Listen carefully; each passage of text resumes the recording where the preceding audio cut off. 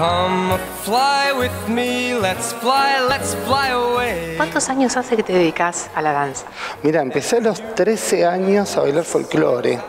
Me estudié en el Polivalente de Arte acá de Mar del Plata y ya después me empecé a dedicar a la danza jazz ¿no? y mucho más tarde la danza contemporánea.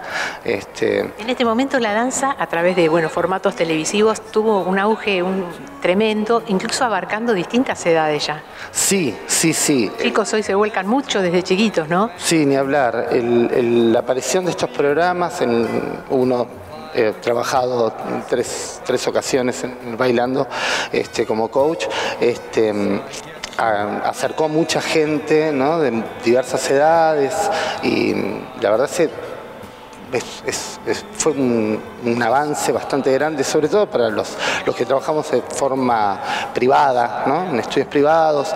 Este, se creció mucho la actividad gracias a eso. Está buenísimo. Sabemos vos sos docente, aquí trabajás en, en el Instituto de Anaí Ramos, pero me gustaría saber cuál de tantos estilos que se enseñan te gusta más a vos. Mira, yo me dedico al jazz, ¿no? El jazz igual tiene varias, varias ramas, ¿no? Uno conoce eh, más por ahí lo de las comedias musicales, ¿no? Los shows, este, uno ve bailarines de Madonna, ¿no? Son bailarines de danza jazz.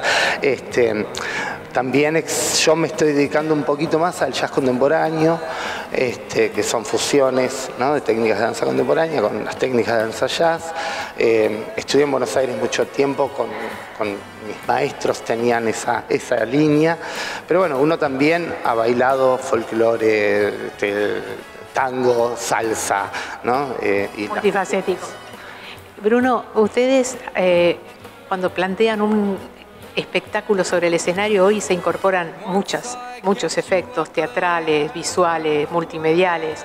Ahora estás preparando uno para esta noche, ¿verdad? Eh, estamos esta noche a las 21.30 por Chacabuco el 14 de julio con Cabaret Argentino. Vamos a estar con Karina Levine, eh, Ana Juárez, es una producción de Belén Rivero, este, es un espectáculo de tango, ¿no? con algunos toques de, de cabaret.